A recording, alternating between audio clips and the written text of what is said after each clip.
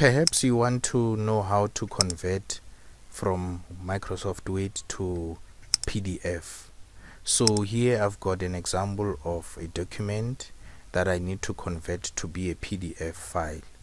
So let me just add some few things on this document. I can even insert a cover page. Let's say maybe you are doing a certain article and then when it's done you want to convert it to PDF the simple way to do it is just to go to file save as then choose the location where you want to save. I can save it and name it maybe convert one just for me to remember the name.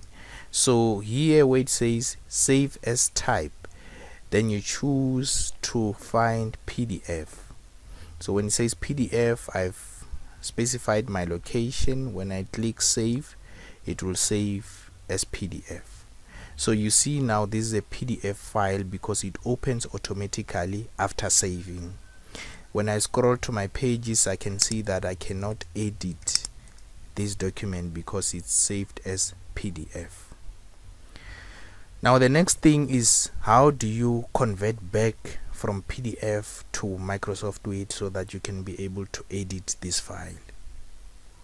What you can do firstly you have to find the file where it has been saved so here on the desktop you see that is convert one that I've saved as PDF I want to convert it back to Microsoft Word so I'm using this platform which is a website called PDF to Word. I love PDF. That is the name of the website. So when you get here, I will show you how to do it. This is the button that you click where it says select PDF file.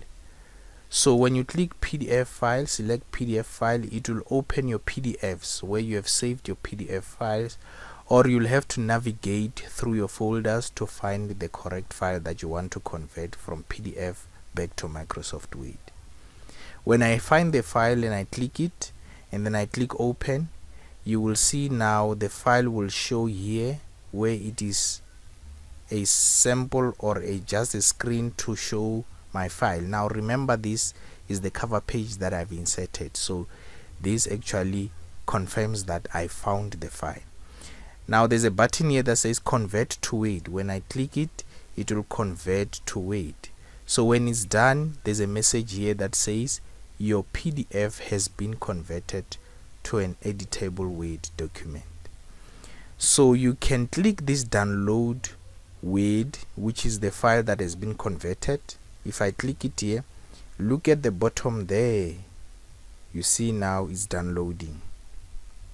So if I can right click and say show in folder and I will find it. When I double click it it is going to open as a Word file. So I can just say enable content or enable document so you see now here I can make changes to it and type what I want to type because now it's converted back to Microsoft Word thank you for watching please click subscribe for more videos notifications and I will leave the link below for the website that I've used to convert all these documents from Word to PDF and from PDF to Microsoft Word.